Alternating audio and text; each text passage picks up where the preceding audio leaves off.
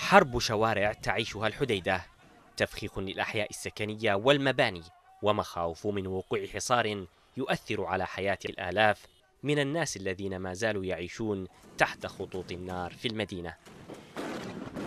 هكذا هو المشهد في المحافظة التي تصاعدت المواجهات الميدانية فيها منذ أيام وزادت فيها وتيرة العمليات العسكرية باتجاه الميناء الذي يعتبر مركز الدعم الرئيسي لميليشيا الحوثي في المحافظة. مصادر محلية قالت إن الحوثيين فخخوا مباني سكنية في شارع الخمسين تمهيدا لتفجيرها بالإضافة إلى قطع المياه عن المنازل بعد تعرض شبكة المياه للتخريب بسبب حفريات الخنادق في شارع غزة الشمالي بحي السلخانة.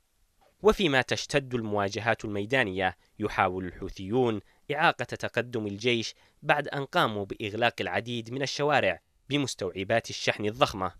وأكد شهود عيان إن الميليشيا تستعد للمواجهة داخل الأحياء السكنية في المدينة بعد تمترسها في شارع الميناء وشارع صنعاء جنوب وشرق المدينة.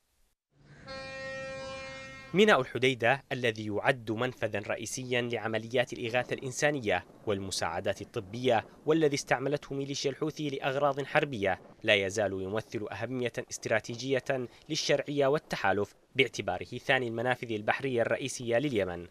تصعيد عسكري في محافظة الحديدة.